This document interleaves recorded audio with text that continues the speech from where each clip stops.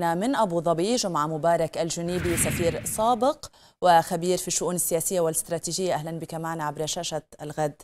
بداية مع تكرر هذه الهجمات الحوثية على الإمارات كيف أو ما المطلوب اليوم دوليا وأمريكيا للحد من جرائم الحوثي؟ بسم الله الرحمن الرحيم. طبعا بالرغم من تكرار الاعتداءات الحوثية الإرهابية على الإمارات ولكن استطاعت القوات المسلحة الإماراتية أن تتصدى لهذه الهجمات وأثبتت كفاءتها في التعامل من مع هذا النوع من من التهديد وتقليل الضرر. ولكن طبعا الاستمرار في في هذا النوع من من العمليات المزعجة في المنطقة هذا أكيد يؤثر على السلم والأمن الإقليمي في المنطقة.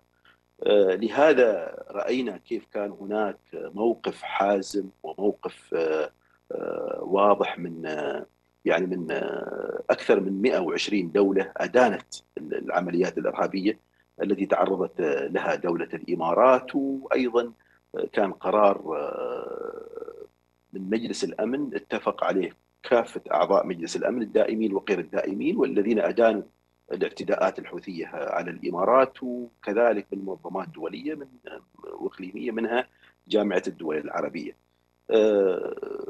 طبعا الموقف الأمريكي في هذا الصدد واضح الرئيس بايدن خلال كلمته في في مرور مرور سنة من من تسلمه الرئاسة ذكر بأن هناك النظر في إعادة هذه المنظمة إلى قائمة الإرهاب، وأنا أرى هذا ضروري جدا أن أن توضع هذه المنظمة في مكانها الصحيح وهي كمنظمة إرهابية ويجب أن تكون في قائمة المنظمات الإرهابية الأمريكية.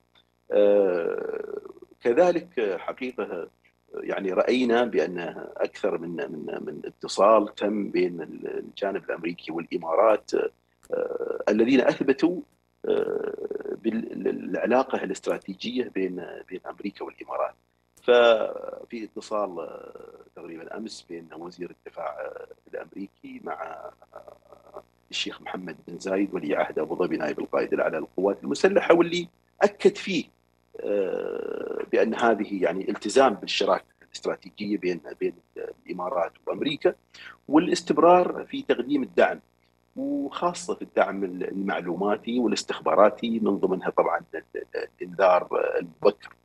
وكذلك أيضا هناك بيكون فيه تعاون في مجال في مجال الدفاع الجوي. وذكر الجانب الأمريكي نعم. أيضا بأن سيتم نشر. نعم تفضلي لا تفضل تفضل.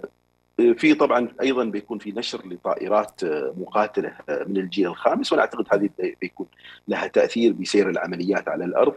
وأنا أعتقد أيضا هناك رسائل مهمة جدا من ضمنها مثلا إرسال المدمرة USS كول على أساس أنها سوف تعمل مع القوات البحرية الإماراتية، هذه كلها رسائل بأن بأن هناك موقف عسكري حازم سيتم التعامل به مع هذه الجماعة، وأيضا هناك أيضا مواقف دبلوماسية ومواقف سياسية أنا أعتقد قاعدة قاعدة تتخذ نعم. في هذا المجال. ومن ضمنها نعم من ضمنها اعلان إعلان الرئيس الأمريكي بالنظر في إعادة هذه المجموعة كمنظمة إرهابية. م. وأيضا أيضا النظر في في عقوبات على قيادات هذه المنظمة. وأنا أعتقد هذا ضروري جدا لأن هذه حتكون رسالة لهذه القيادات بأنها معروفة لدى المجتمع الدولي.